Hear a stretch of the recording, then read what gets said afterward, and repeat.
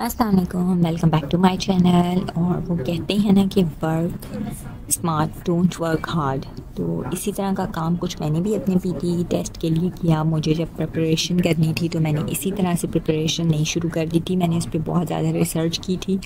और मेरे जो भी पर्सनल एक्सपीरियंसेस थे, जो भी मेरी लेसन लर्न थे, मैं वो आपके साथ शेयर करना चाह रही हूँ जस्ट आप लोगों की हेल्प करने के लिए। मेरा पर्पज़ इस चैनल का यही है कि आप लोगों की किसी भी तरह से हेल्प हो सके, कि जो मुझे प्रॉब्लम्स हुई, जो मुझे चीज़ें नहीं करनी चाहिए थी, वो आप लोग ना करें।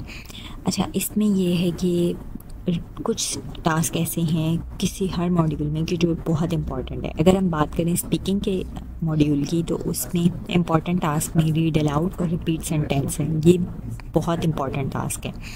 जो आपकी बैकबोन है, आपके टेस्ट की तो इसमें आपकी परफॉर्मेंस जो है, वो किसी भी तरह से लूज़ नहीं होनी चाहिए। बेस्ट परफॉर्म करें इन दो टास्क में। फिर इसी तरह मॉडरेट टास्क आ जाते हैं और वो डिस्क्राइब इमेज और रिटेल लेक्चर है और आंसर शॉर्ट क्वेश्चन की आप ना भी प्रैक्टिस करें। इस पर टाइम ज़ाया करने की कोई ज़रूरत नहीं है। वही आप किसी और मॉड्यूल को टाइम दे दें लिस्टिंग को दे दें राइट फ्रॉम डिक्टेशन में दे दें कुछ चीज़ें और बहुत इंपॉर्टेंट हैं, उनमें दे दें।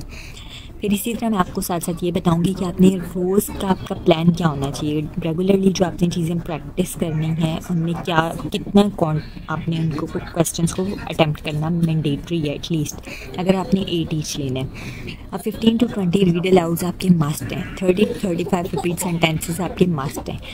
Two to three describe images भी आपने लाजमी करने हैं। इसका भी टेम्पलेट है और two to three detail lecture भी आपने लाजमी करने हैं। इसका भी टेम्पलेट है। टेम्पलेट्स भी मैं आपके साथ शेयर करती रहूँगी। Follow for more thank you